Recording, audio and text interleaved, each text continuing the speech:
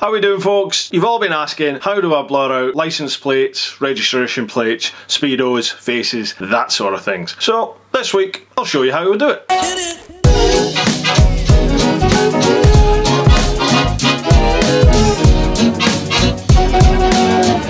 Last week's vid, there's been loads of people that have come on board, joined the clan over on Patreon. Thank you very much to all of you. Your support is gratefully received. Welcome on board. For those of you who've not yet checked it out, check out the Patreon link down below. If it's something you'd like to get on board with, feel free.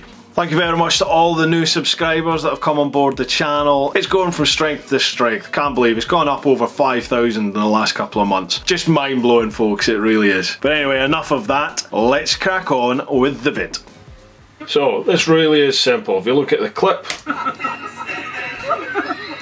you can see right there we've got a number plate. Say we want to blur out that number plate there. Simple as. If it's just that image there, if it's static image and you want to blur out that bit, then come over here to the effects. Click that, click in all, down to the search, type in type in CEN, there we are censor, drag that across on top of your clip, wash. That gives you this part here, this big old circle. Drag the centre of that over what it is that you're trying to blur out. Move the cursor up here till it becomes double arrowed, shrink it to what size you want and it's literally that easy. Simple as that. Now it's blurred out. Easy. But what if the object you're trying to blur out is moving in the screen? As license plates, dare I say it, speedos, things like that, people's faces, they will move if the camera is moving. So how do you do that? It's keyframe animation. So let's go back to it. So here we are. Same clip again. And as we can see, here on the initial frame we've got registration there which pretty blurred out and a registration there which pretty blurred out. So let's start with this one here. Same thing, we've got the censor, bring that across, drop it right on. So this is currently right at the very start of the clip. You can see there, the time head is right at the very start of the start of the clip. Pop it there, reduce it down in size. However now, come across here where it has censor, where it says radius, click this little diamond shape there. That's a keyframe. And then also see where it says center? Click that as well. So what that's doing is that is locking in the radius of that circle and is also locking in those central coordinates right there. So what I'd do now, if you come over to the main clip, I'd hit the right arrow. So the right arrow will advance it through frames. You see here, if I hit the left arrow, it comes back. So that's us at the very start of the clip. You see the film line there. That shows you that you're at the very start of the clip. And then if I hit the right arrow, once that advances one frame, two frames, three frames. I generally go about three frames. So what you can see now is that obviously the license plate is moved from here to there. So all I do is I just click and drag and bring it across. And you'll see that over here this has automatically created a new keyframe for those central coordinates. So it does your x coordinate which is a horizontal and your y coordinate which is your vertical. But because you clicked center it automatically does x and y at the same time. It's not done one for the radius because we haven't altered the uh, size of the, the circle there, the blood circle. If you click, drag and do alter it, it'll automatically add in a keyframe. Once you do them right at the very start, so your first keyframes go in, any changes that you make thereafter, it automatically adds a keyframe to them. So again, let's go forward, say three or four keyframes. So one, two, three, four, and we can just click that and drag that down. I'd maybe zoom out just a smidgen, say 100% so that's zoomed out a little bit more. And let's go forward another couple of um, keyframes. One two three four. Well it's gone now.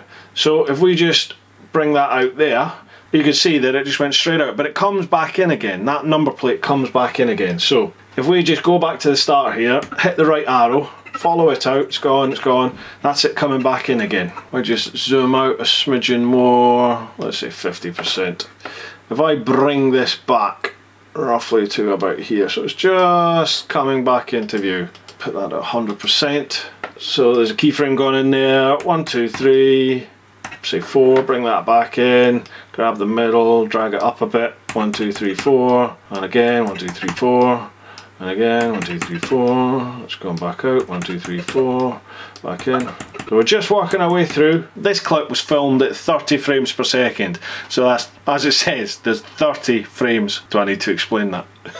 You can understand now why this takes me forever when I go and blur out number plates, people's faces, speedos, things like that. It can take hours. Now I generally film at 60 frames per second just because it gives you that slightly smoother, it just gives you slightly smoother footage plus it allows you a bit more scope if you want to slow things down. Do a bit of slow-mo. But anyway, we just walk our way through it and this is the end result.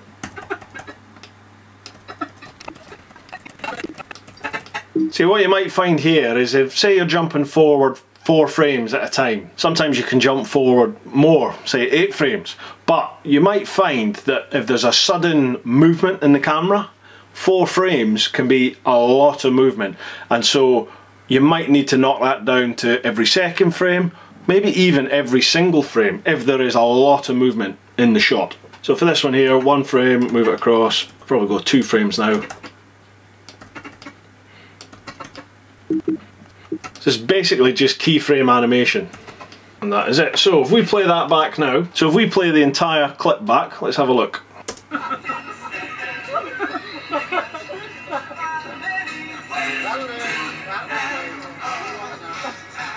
There we go. Now you can see right about here in the actual playback. At the bottom there you can see what that number plate is down at the bottom but don't worry about that. In the final render when you actually render the film and turn it into your MP4 whatever format it is you're going to go for you won't see that. That'll go in the render. Well how do you blur two objects in the same clip? No problem. Exactly the same.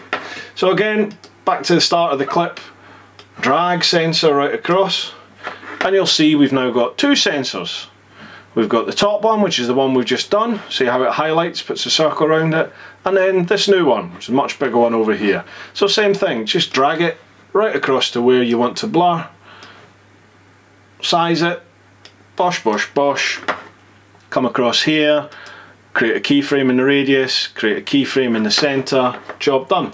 And again, let's just move forward, say three frames at a time. One, two, three. Let's move straight across. Boom, so I would actually reduce that in size somewhat because it's because the number plate has gone back so it's, it's decreased in size in the shot. And again that automatically creates a keyframe in the radius and a keyframe in the center because we've changed the size of the, the blur and also the coordinates of the blur. So same thing, one, two, three, one, two, three, three, three probably go four now. One, two, three, four. One, two, three, four. I'd always advise that every sort of three or four frames, even if the object that you're blurring out doesn't actually move, just move the blur just slightly so it creates another keyframe and that'll just give you nice smooth transitional movement on the screen rather than just sudden jumps and things like that. One, two, three, four. So you can see this isn't moving much at all but I am just constantly moving the blurred object just so that it's continually creating these keyframes so that when there is a sudden movement it doesn't just show us one massive leap. There is a sort of continuous flowing movement. You can see now that this registration has gone right off the screen. So just move the blurred object right off work your way through the footage and see if it comes back. And I don't think it does. I think that's it done. Job done. Okay so now if we go back to the start hit spacebar for play. we can see that one's blurred out and that one's blurred out. Bosh. Simple as that folks. Now there are other ways of doing this. You can bring in Gaussian blurs, you can use plugins, you can do masking for more complex uh, and intricate shapes that you need. But for just simple things like that, for blurring out of speedos, blurring out of faces, blurring out of number plates, license plates, things like that, use the censor effect. It's really easy, really straightforward, but it can take a little bit of time. That's the only issue. Hope you found that of some use folks. There's going to be lots more vids like this in the How To Moto Vlog series, so keep looking back to see if there's anything that takes your fancy. Massive thank you to all the patrons, and thank you very much to all of you who stopped by. If you liked what you saw, hit that subscribe button, hit the like, drop me a comment, let me know what you think. Take it easy and remember, live your life.